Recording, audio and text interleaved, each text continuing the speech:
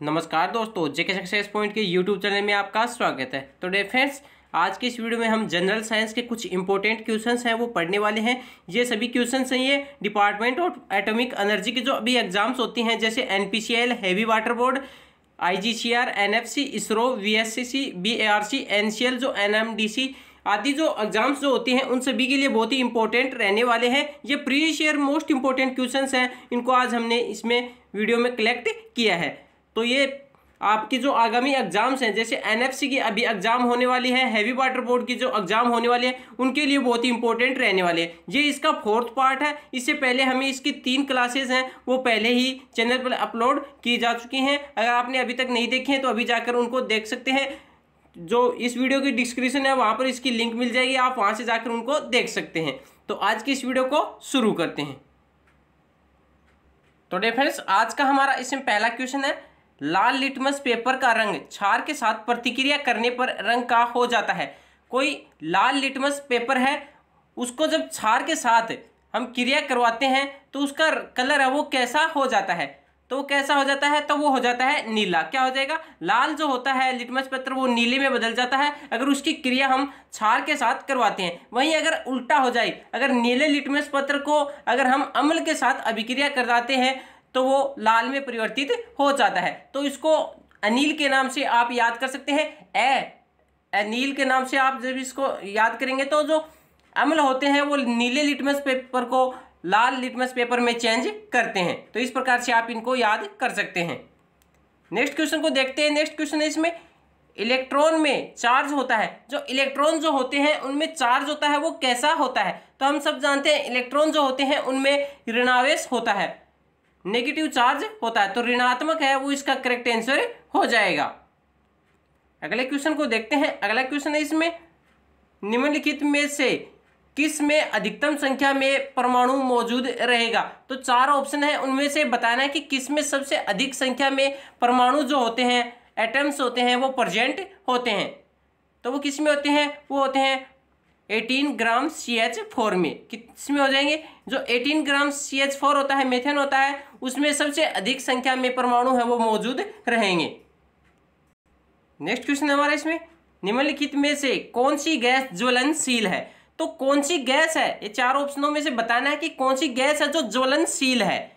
तो जलने में सहायक होती है या फिर ज्वलनशील है, खुद जलती है तो वो कौन सी हो जाएगी? वो हो जाएगी हाइड्रोजन हाइड्रोजन गैस जो होती है, वो ज्वलनशील गैस होती है ऑक्सीजन गैस होती है, ये जलने में सहायक गैस होती है। अगले क्वेश्चन को देखते हैं। अगला क्वेश्चन हमारे इसमें ओम को प्रतीक द्वारा निरूपित किया जाता है। जो ओम का नियम आपने सभी ने पढ़ा होगा वी बराबर आई आर तो उसमें जो ओम जो होता है, उसको किस प्रतीक द्वारा निरूपित किया जाता है? तो इसको निरूपित किया जाता है वो जो पहला सिंबल दिया गया है, ऑप्शन ए में। तो इस प्रतीक से ओम को है वो निरूपित किया जाता है।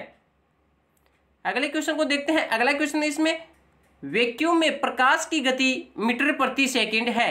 जो वैक्यूम जो होती है उसमें प्रकाश की जो गति होती है, वो कितनी होती है, ये हमें बताना है। तो वैक्यूम में प्रकाश की जो गति होती है, वो तीन गुणा दस की पावर आठ मीटर प्रति सेकंड होती है। क्या हो जाएगी? तीन गुणा दस की पावर आठ मीटर प्रति सेकंड जो होती है, वो वैक्यूम में प्रकाश की गति होती है।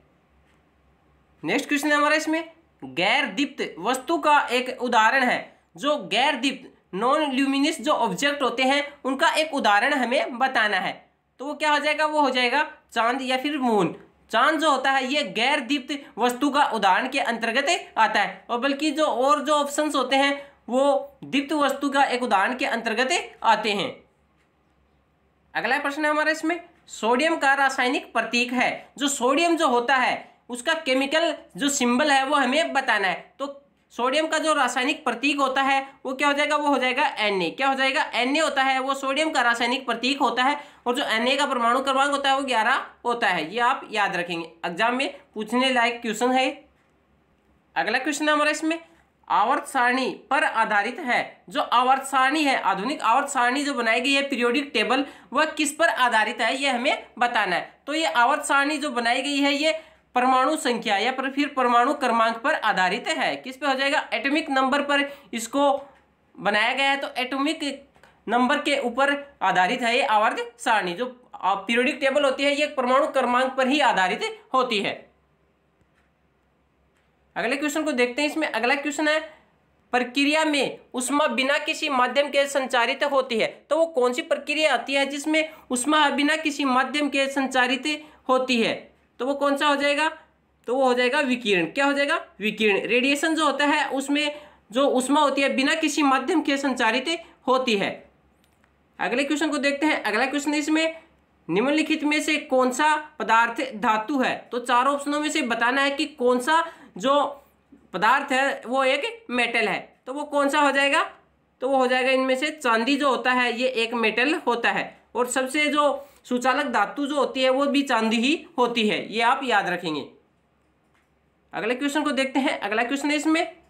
एक सामान्य मानव कान आवर्ती की ध्वनि सुन सकता है। एक सामान्य जो मनुष्य होता है, उसका जो कान होता है ईयर होते हैं, वो कितनी आवर्ती तक की ध्वनि है, वो सुन सकते हैं। ये हमें बताना है।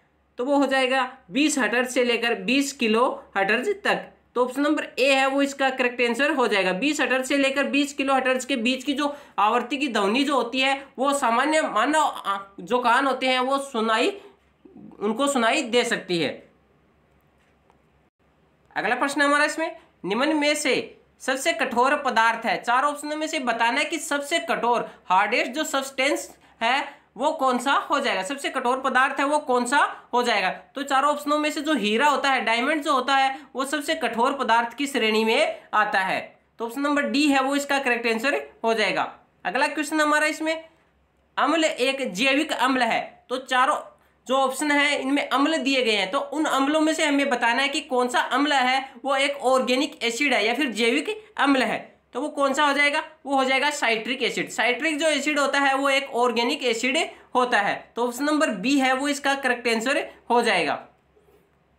नेक्स्ट क्वेश्चन हमारा, इसमें फिफ्टीन नंबर क्वेश्चन। जिस प्रक्रिया में पदार्थों में इलेक्ट्रॉन की वृद्धि होती है, उसे कहा जाता है। तो वह प्रक्रिया जिसमें पदार्थों में इलेक्ट्रॉन की वृद्धि होती है तो वह प्रक्रिया को कहा जाता है। क्या कहा जाता है? उसको कहा जाता है अपचयन। रिडक्शन है वो इसको बोला जाता है। अपचयन है वो बोला जाता है, जिस प्रक्रिया में पदार्थों में इलेक्ट्रॉन की क्या होती है? वृद्धि होती है। अगले क्वेश्चन को देखते हैं। अगला क्वेश्चन है इसमें सी डब्ल्यू एच का क्रियात्मक समूह है। जो सी डब्ल्यू एच जो होता है, उसका क्रियात्मक समूह है, वो किसका है तो किसका हो जाएगा ये? तो ये हो जाएगा कार्बोक्सिलिक एसिड का। कार्बोक्सिलिक एसिड का एक क्रियात्मक समूह होता है। अगला क्वेश्चन है हमारे इसमें यदि एक लेंस की शक्ति वन डायोप्टर है तो उस लेंस की फोकस दूरी बताइए। एक लेंस है, उसकी जो शक्ति दी गई है, वो वन डायोप्टर हमें दी गई है। तो हमें इस लेंस की जो फोकस दूरी है, वो बतानी है। तो इसके लिए हम सूत्र जानते हैं कि जो शक्ति का सूत्र होता है, पी बराबर होता है वन अपॉन में एफ़ होता है। वन अपॉन में फोकस दूरी। तो पी क्या दी गई है? वन डायोप्टर हमें दी गई है। तो बराबर वन अपॉन में एफ़ हो जाए। तो वन, एफ़ बराबर क्या हो जाएगा? One metre. क्या ये मीटर में आती है फोकस दूरी तो एक मीटर होती है वो इसकी फोकस दूरी हो जाएगी। तो एक मीटर का की जगह क्या लिख सकते हैं हम? 100 सेंटीमीटर लिख सकते हैं तो ऑप्शन नंबर सी है वो इसका करेक्ट आंसर हो जाएगा। 100 सेंटीमीटर है वो इसकी फोकस दूरी हो जाएगी। अगला क्वेश्चन हमारा इसमें, किसी वस्तु को ऊपर से गिराने के दौरान उसका वज़न रहता है। कोई वस्तु है, अगर हम उसको ऊपर से गिराते हैं तो उस दौरान उसका जो वज़न होता है तो वो कितना रहता है, उसका वेट होता है, वो कितना रहता है, ये हमें बताना है। तो उसका जो वेट होता है, वो हमेशा शून्य ही रहता है, ज़ीरो ही रहता है। तो ऑप्शन नंबर ए है, वो इसका करेक्ट आंसर हो जाएगा। अगले क्वेश्चन को देखते हैं। अगला क्वेश्चन हमारे इसमें। किसी वस्तु पर थोड़े समय के लिए कार्य करने वाले बल को कहा जाता है। तो किसी वस्तु पर कोई जो बल होता है, वो थोड़े समय के लिए लगाया जाता है तो उस बल को क्या कहा जाता है? शॉर्ट पीरियड के लिए एक अगर हम उस पर फोर्स है, वो एक्टिव करते हैं तो उसको क्या कहा जाता है? तो वो कहलाता, वो आवेग कहलाता इम्पल्स है, वो कहलाता है। किसी वस्तु पर अगर हम थोड़े समय के लिए कोई कार्य करते हैं तो उस बल को हम आवेग कहते हैं। अगला क्वेश्चन हमारे इसमें। वायुमंडलीय दबाव मापने के उपकरण का नाम है। जो वायुमंडलीय दबाव है जो होता है एटमोस्फियर प्रेशर जो होता है, उसको मापने के लिए कौन से उपकरण का उपयोग किया जाता है, जिसका नाम क्या है तो वो हो जाएगा बैरोमीटर बैरोमीटर को होता है, उसका प्रयोग हम वायुमंडलीय दबाव मापने के लिए प्रयोग करते हैं। तो ऑप्शन नंबर ए है, वो इसका करेक्ट आंसर हो जाएगा। तो डेयर फ्रेंड्स ये थे आज के हमारे ट्वेंटी मोस्ट इंपॉर्टेंट क्वेश्चंस आशा करते हैं आपको वीडियो पसंद आएगा। अगर वीडियो पसंद आए तो प्लीज़ वीडियो को लाइक करें कमेंट करें दोस्तों में शेयर ज़रूर करें। अगर चैनल पहली बार है तो चैनल को सब्सक्राइब ज़रूर करें, क्योंकि आगे भी आपको ऐसे ही बहुत इंपॉर्टेंट वीडियो है वो हमारे चैनल पर मिलने वाली हैं। Thank you